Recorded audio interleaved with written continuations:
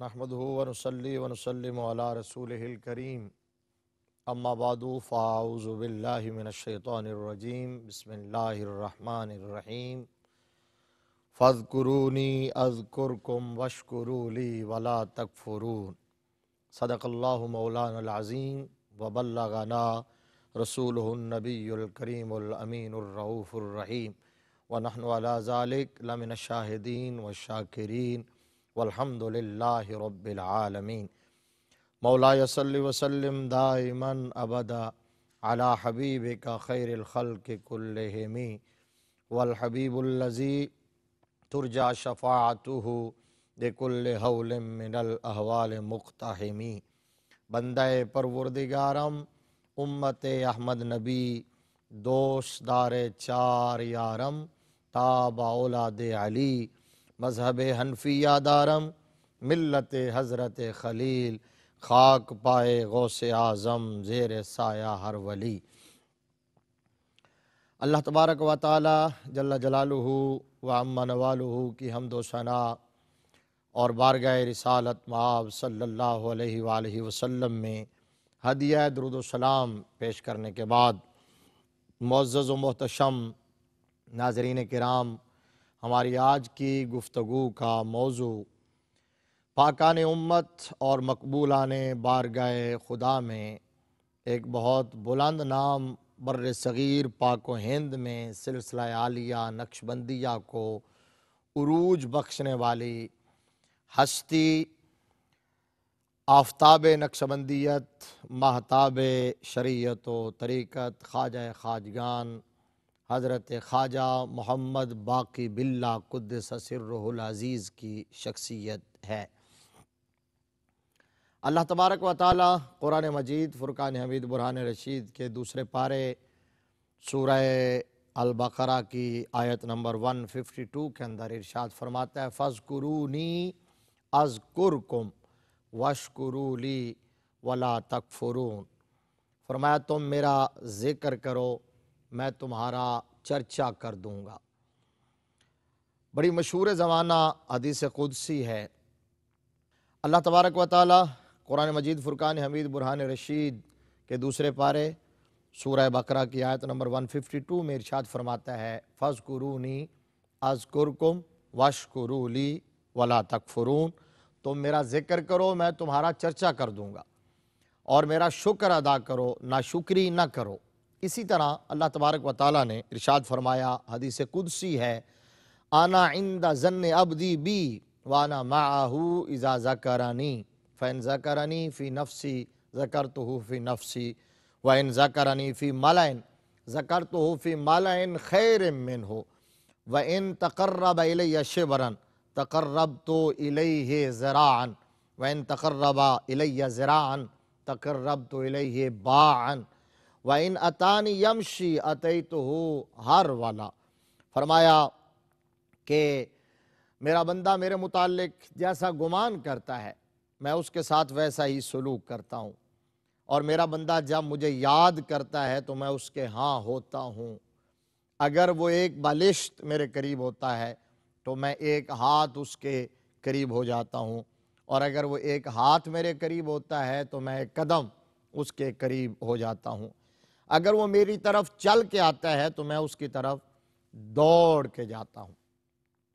تو اللہ تبارک و تعالیٰ کے جو محبوب، مقرب بندے ہیں، جو صلحائے امت ہیں، اولیاء کاملین ہیں، مقبول مقبولان بارگاہ خدا وندی ہیں، یاد الہی اور ذکر خدا کے حوالے سے، تو ان کا نقطہ نظر یہ ہے کہ جو دم غافل، سو دم کافر۔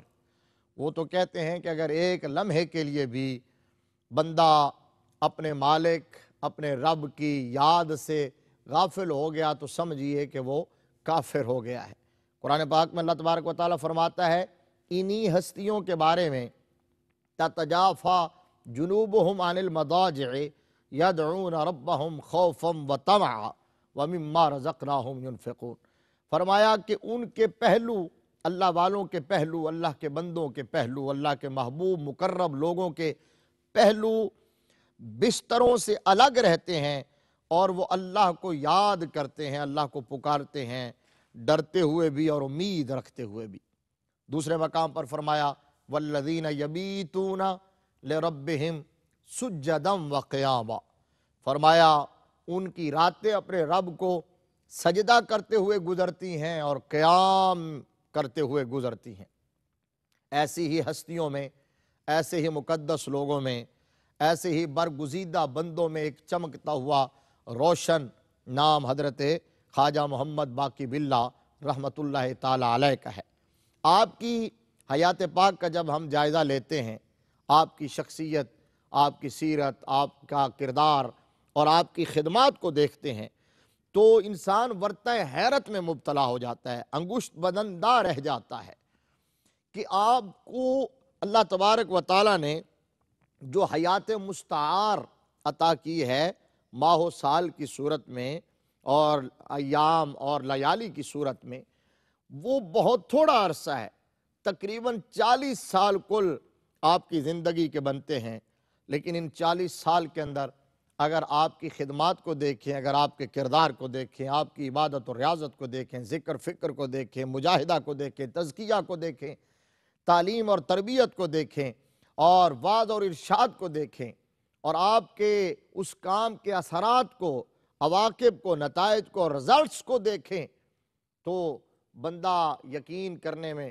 بہت جو ہے وہ تردد کا شکار ہو جاتا ہے کہ اتنے کم وقت کے اندر بھی کوئی بندہ اتنے کارہائے نمایاں سر انجام دے سکتا ہے۔ یوں لگتا ہے کہ حضرت خواجہ محمد باقی باللہ رحمت اللہ تعالیٰ علیہ کو یہ جو مختصر پیریڈ اللہ تبارک و تعالیٰ نے عطا فرمایا تھا، تو یہ ان کے پاس یوں لگتا ہے جیسے کوئی امانت تھی اور اس امانت کو کسی دوسرے تک پہنچانے کے لیے آئے تھے۔ اور وہ امانت کہاں سے ملی ہے اور کیسے ملی ہے؟ محققین کہتے ہیں کہ حضرت خواجہ باقی باللہ رحمت اللہ تعالیٰ علیہ کو برائے راست ویسے تو آپ نے دنیا کے اندر تعلیم بھی حاصل کی اور آپ نے جو ہے مرشد بھی تلاش کیا اور پھر بیعت کی اور بہت سارے لوگوں کی صحبت میں بھی رہے۔ لیکن محققین کہتے ہیں کہ آپ کو براہ راست حضرت خواجہ بہاؤدین نقش بند علیہ الرحمہ اور سرکار مدینہ صلی اللہ تعالیٰ علیہ وآلہ وسلم کی ذات سے فیض رسانی حاصل اور میسر تھی۔ اور وہ فیض اس ٹائم پیریڈ کے اندر آپ نے کسی تک منتقل کرنا تھا اور وہ جس تک منتقل کیا ہے، اسے دنیا مجدد الفسانی امام ربانی شیخ احمد سرہندی فاروقی رضی اللہ تعالیٰ عنہ ہو کے نام سے جانتی ہے۔ یہ تین نام ہیں سلسلہ عالیہ نقش بندیہ کے اندر جو بڑے چمکتے ہوئے اور روشن نام ہیں اور انہیں سرخیل کہا جا سکتا ہے، انہیں سالار کہا جا سکتا ہے۔ ایک حضرت خواجہ بہاؤدین نقش بند علیہ الرحمہ اور ایک حضرت خواجہ باقی باللہ قدس سرہ العزیز اور ایک امام ربانی نور اللہ مرکدہ۔ یعنی آپ اگر سینٹرل ایشیا کی ریاستوں کا ماوراء النہر کے جو علاقے ہیں، ان کا اگر جائزہ لیں۔ تو وہاں سلسلہ عالیہ نقش بندیہ کی داغ بیگ، داغ بیل ڈالنے والے اور اس کو فروغ دینے والے اور اس کی تعلیمات کو عام کرنے والے حضرت خواجہ نقش بند ہیں۔ تو سب کانٹیننٹ کے اندر یہی ڈیوٹی اور یہی فریضہ حضرت خواجہ باقی باللہ نے سر انجام دیا ہے۔ اور پھر اس سلسلہ عالیہ کی تعلیمات کو اور اس کے تعارف کو بام عروج تک پہنچایا ہے۔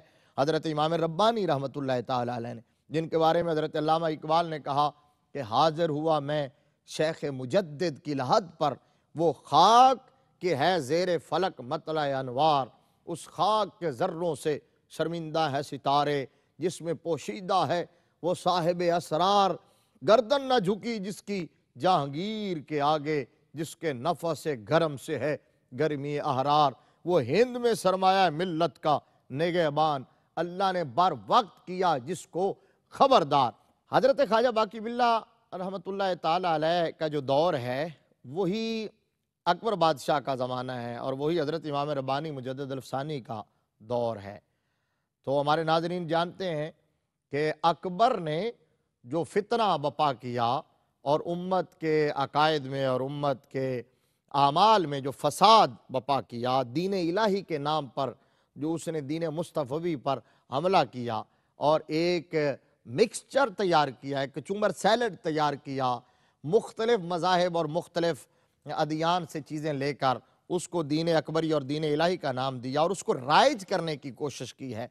تو اکبر باوجود ہے کہ وہ وقت کا بادشاہ تھا اور اس کے پاس سلطنت تھی، حکومت تھی، اقتدار تھا پاور تھی، لیکن اس کا دین وہ باقی نہیں رہ سکا اور اس کی اس فکر کو، پذیرائی اور مقبولیت نہیں مل سکی۔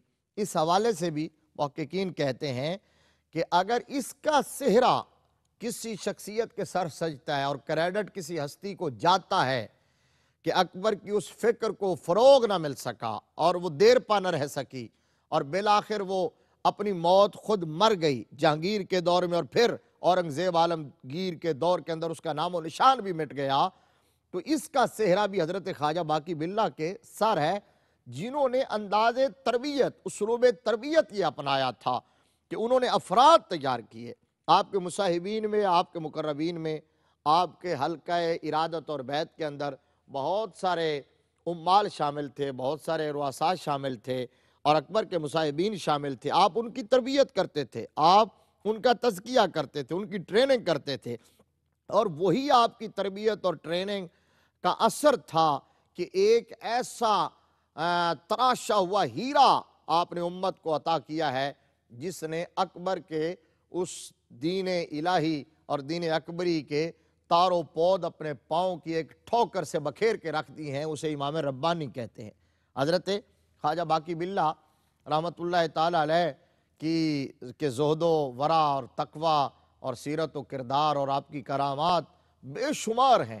اور آج ضرورت اسی بات کی ہے کہ آپ کی اس حیات پاک کو درسیات میں شامل کیا جائے اور امت کے نونحالوں تک پہنچایا پہنچایا جائے نیو جنریشن کو بتایا جائے کہ یہ وہ ہستیاں ہیں جنہوں نے دین کی خدمت کی ہے اور جنہوں نے منہج نبوی پر دین مصطفیٰ علیہ السلام کے کام کو آگے بڑھایا ہے اور لوگوں کے دلوں کو جوڑا ہے۔ اور امت کو محبت کا پیغام دیا ہے، امن کا پیغام دیا ہے، آشتی کا پیغام دیا ہے۔ اور انہوں نے کائنات کے اندر حضور صلی اللہ تعالیٰ علیہ وآلہ وسلم کے دین کا سچا اور سچا چہرہ جو ہے وہ پوری دنیا کے سامنے پیش کیا ہے۔ حضرت خواجہ باقی باللہ رحمت اللہ تعالیٰ علیہ کے بارے میں ایک روایت بڑی مشہور ہے کہ آپ اپنے سردیوں کی ٹھٹھرتی ہوئی راتیں تھیں اور آپ بیٹھ کر ذکر الہی میں، یاد خدا میں محو تھے، اللہ اللہ کر رہے تھے۔ پھر آپ نے سوچا کہ اب میں ذرا کھڑا ہو کر نوافل ادا کرتا ہوں۔ تو بستر چھوڑا اور مسلح پہ آ گئے۔ نوافل پڑھنے لگے۔ نوافل پڑھتے رہے پڑھتے رہے پڑھتے رہے نوافل۔ جب نفل پڑھ لیے آپ نے، تو واپس آپ بستر پر آنے لگے۔ سوچا کہ اب پھر بستر میں بیٹھ کر جو ہے وہ اوراد و وظائف جاری رکھتا ہوں۔ جب واپس آنے لگے تو کیا دیکھا؟ کہ اس بستر کی گرمائش کے اندر ایک بلی آرام کر رہی تھی۔ وہ بلی آپ کے بستر پر بیٹھ چکی تھی۔ وہ اس آپ کے لحاف کے اندر اور آپ کے بستر میں ماو استراحت تھی۔ اب حضرت حضرت خواجہ باقی باللہ رحمت اللہ علیہ باوجود کہ یخ بستہ رات ہے اور شدید سردی ہے، ٹھٹھرتی ہوئی رات ہے۔ لیکن اب آپ نے اس بلی کو، اس جانور کو بھی وہاں سے اٹھانا، جگانا اور ہٹانا گوارا نہیں کیا۔ آپ واپس آ کے پھر مسلح پر بیٹھ گئے اور باقی رات وہیں یاد الہی کے اندر گزار دی، ذکر و فکر میں گزار دی ہے۔ اس جانور تک کو تکلیف دینا آپ نے مناسب نہیں سمجھا۔ یہ صوفیاء کرام کی تعلیمات ہیں۔ یہ اولیاء امت کا کردار ہے کہ انسان تو انسان، جانوروں تک کو بھی تکلیف دینا، وہ گوارا نہیں کرتے تھے اور ان کے ہاتھ سے کسی جانور کو بھی تکلیف نہیں پہنچی اور جانور بھی ان کے در پر بیٹھے رہتے تھے۔ آپ بے شمار اولیاء کاملین کے مزارات پر آج بھی جا کے دیکھیں، کہیں آپ کو بلیاں لنگر کھاتی ہوئی نظر آئیں گی، کہیں آپ کو کتے نظر آئیں گے، کہیں اور جانور نظر آئیں گے۔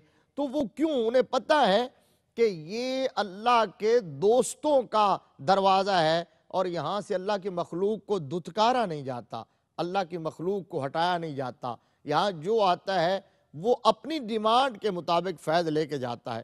آپ کا ایک خان سامہ تھا، آپ کا ایک باورچی تھا، تندورچی، لانگری، اور وہ آپ کا مرید بھی تھا۔ آپ حضرت خواجہ باقی باللہ رحمت اللہ علیہ کے پاس ظاہر مہمانوں کی آمد و رفت ہوتی تھی، اور پھر اس آستان فیض سے جہاں روحانی لنگر ملا کرتا تھا۔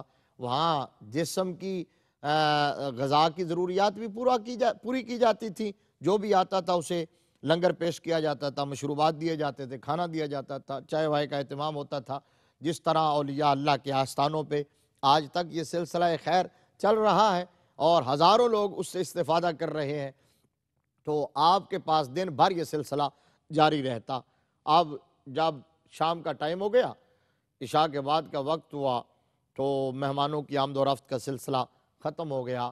وہ لنگر خانہ بھی بند کر دیا گیا، تنور بھی بجھا دیا گیا اور وہ جو آپ کا تندورچی تھا وہ بھی جا کے بہو استراحت ہو گیا۔ تو لیٹ نائٹ اچانک آپ کے پاس کچھ مہمان آ گئے، کچھ خاص مہمان آ گئے۔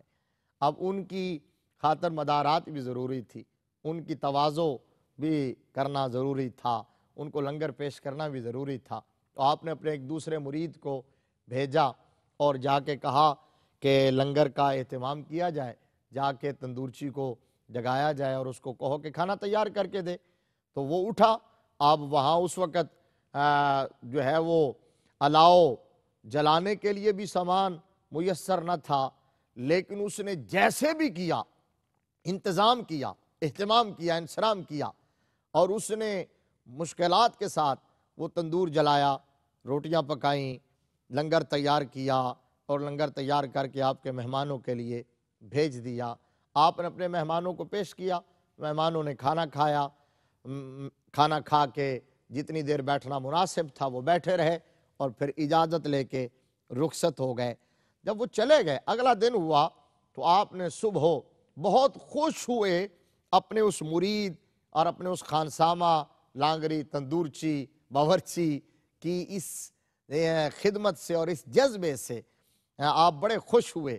تو اس کو بلایا اور بلا کے فرمایا، چونکہ اللہ کے ولی ہیں اور اللہ کے ولی جو ہیں وہ ہر چیز دیکھ رہے ہوتے ہیں، نور فراست سے، نور ایمان سے۔ اتقو فراست المومن فَإِنَّهُ يَنظُرُ بِنُورِ اللہ۔ ہاں میرے آقا نے فرمایا کہ مومن کی فراست سے بچو، وہ اللہ کے نور سے دیکھتا ہے۔ تو دیکھ رہے تھے کہ کس حالت اور کس کیفیت میں، کن مشکلات کے اندر اس نے یہ لنگر تیار کر کے بھیجا ہے تو آپ نے اس کو بلایا اور بلا کے فرمایا کہ تمہاری اس خدمت سے اور جذبے سے بہت خوش ہوئے ہیں۔ اب تمہیں کچھ عطا کرنا چاہتے ہیں۔ مانگو جو مانگنا ہے تو اس نے کہا، حضور، مجھے کچھ نہیں چاہیے۔ میں آپ کے حلقہ ارادت میں ہوں۔ اس سے بڑا اعزاز اور کیا ہو سکتا ہے؟ میں آپ کا مرید ہوں۔ اس سے بڑا شرف اور کیا ہو سکتا ہے؟ میں آپ کا دیدار کرتا ہوں۔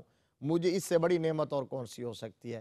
مجھے کسی چیز کی اور ضرورت نہیں۔ آپ نے فرمایا، نہیں، ہم تمہیں کچھ عطا کرنا چاہتے ہیں، آج مانگو۔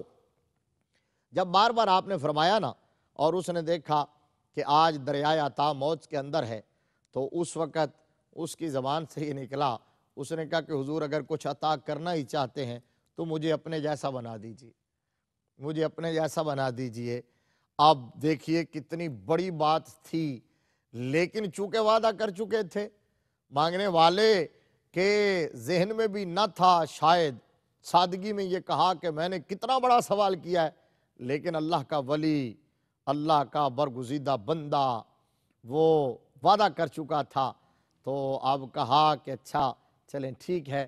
تو ان کو ایک جگہ، ایک حجرے کے اندر، تنہائی کے حجرے کے اندر لے گئے اور وہاں تین دن اور تین راتیں اس کو وہاں رکھا۔ اور رکھنے کے بعد اس کی طرف خاص توجہ کی، خاص نظر کی، اس کے اوپر انوار کی وہ جھلک ڈالی ہے تذکیہ کیا ہے کہ تین دن کے بعد جب اس کا یہ کورس مکمل ہو گیا، جب یہ پیریڈ ختم ہو گیا، وہ باہر نکلا ہے، لوگوں کے سامنے آئے ہیں، تو لوگ پہچاننے سے قاصر تھے کہ حضرت خواجہ کون ہے اور باورچی کون ہے رنگ ایسا چڑھا دیا تھا۔ ایسا رنگ دیا تھا، ایسا اس کو سیکل کر دیا تھا، ایسا منور کر دیا تھا۔ اور اس کے نظائر بہت سارے ملتے ہیں۔ یہاں مجھے یاد آ گیا کہ تین دن یہ تھے، تین دن۔ اور پھر پہلے اس بات کو کمپلیٹ کر دوں کہ اس کی، چونکہ حضرت خواجہ باقی باللہ جو ہیں، وہ تو ایک پیچھے پیریڈ تھا، ایک شیخ کی نظر تھی اور مجاہدہ تھا، زہد تھا، تقوی تھا، ریاضت تھی، تعلیم تھی، تربیت تھی۔ تو سمندر کے سمندر پی چکے تھے، اب ان کو اچانک ملا تھا تو سنبھالنا مشکل ہو گیا۔ تو مدھوشی کے اندر رہتے اور جھومتے رہتے۔ رنگ تو چڑھ گیا تھا، لیکن بالآخر چند دن وہ برداشت کر سکے اور چند دلوں کے بعد روح کفت سے انسری سے پرواز کر گئی اور دائی اجل کو لبیک کہا، اللہ کی بارگاہ میں حاضر ہو گئے۔ یہ آپ کا فیضان اور آپ کی عطا اور آپ کا کمال، یہ تھا۔ اب حضرت صدیق اکبر رضی اللہ تعالیٰ نے تین دن اور تین راتیں رہے تھے غار سور کے اندر۔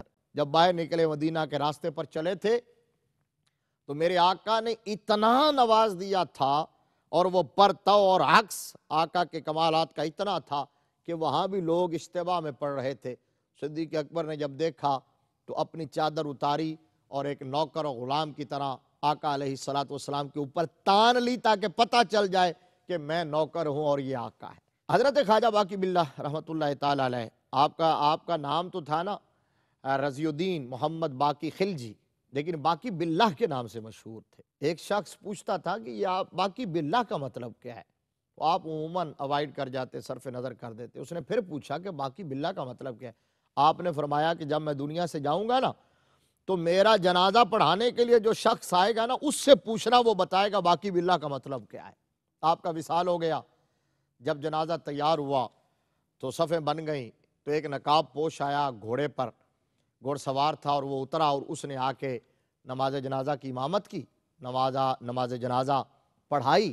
جب جنازہ پڑھا کے وہ جانے لگا تو وہ شخص انتظار میں تھا۔ وہ آگے بڑھ کے، دوڑ کے اس نے اس گھڑ سوار کو روک کے کہا کہ آنے والے حضرت خواجہ نے کہا تھا، میں نے باقی باللہ کا مطلب پوچھا تھا تو انہوں نے فرمایا تھا، جو میرا جنازہ پڑھائے گا وہ تمہیں بتائے گا۔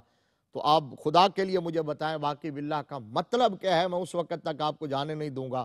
جب تک کہ آپ اس کا مطلب بتاتے نہیں ہیں، تو اس وقت آپ نے چہرے سے نقاب اتار دیا۔ تو وہ دیکھ کے حیران رہ گیا کہ یہ خواجہ باقی باللہ تھے۔ تو کہا کہ باقی وہاں جو رضی الدین تھا، اس کا وصال ہو گیا۔ اور باقی باللہ کا یہ مطلب ہے کہ ادھر فوت ہو گیا ہے ادھر باقی ہے زندہ ہو جاتے ہیں جو مرتے ہیں حق کے نام پر۔ اللہ اللہ موت کو کس نے مسیحا کر دیا؟ اور کشتگانے خنجر تسلیم را۔ ہر زمان از غیب، جان دیگر است۔ اللہ کریم ہمیں ان پاکان امت کے صلحائے ملت کے نقش قدم پر چلنے کی توفیق رفیق مرحمت فرمائے۔ وما علي إلا البلاغ المبين.